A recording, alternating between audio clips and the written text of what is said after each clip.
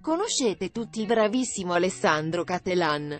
È stato infatti il conduttore di X Factor e ora è pronto per nuovissime avventure. Cattelan è dunque un volto noto di Sky per cui ha presentato ben 10 edizioni del seguitissimo programma musicale. Nel corso della prossima edizione, Alessandro sarà però sostituito dal giovane Ludovico Tersini, che condurrà il talent con la collaborazione dei quattro giudici, Mica, Manuel Agnelli, El Raton ed Emma Marrone.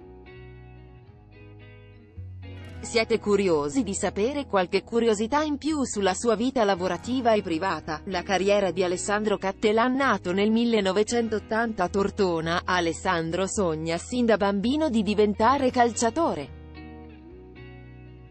Nel corso della sua adolescenza, diventa però campione italiano di Jiu-Jitsu, disciplina che abbandona ben presto. In seguito, inizia infatti a giocare in qualità di difensore nella squadra del Dertone, nel 2018, entra nella squadra di San Marino, con cui riesce anche a giocare in Champions League.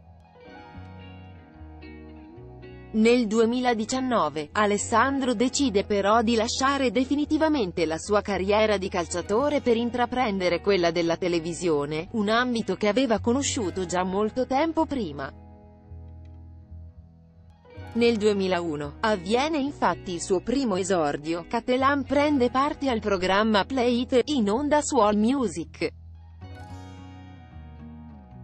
Nel 2004, lavora in MTV insieme a Giorgia Surina con Viva Las Vegas. Nel 2005, fonda un duo rapo con Gianluca Quagliano. E poi la volta di Radio 105 Minuti, in cui lavora al programma 105 all'una e di RTL. Nel 2009, è invece volto fisso di quelli che il calcio, insieme a Simona Ventura e, dal 2011, inizia a condurre X Factor. Recentemente, è stato lui a lasciare Sky inaspettatamente. Alcune voci dicono che il conduttore potrebbe sbarcare in Rai e Netflix con un nuovissimo progetto. Al momento, non ci sono però ancora informazioni certe, trattino maggiore la vita privata di Alessandro Cattelan Cattelan è sposato felicemente con Ludovica Sauer, una bellissima donna di cui lui è molto innamorato.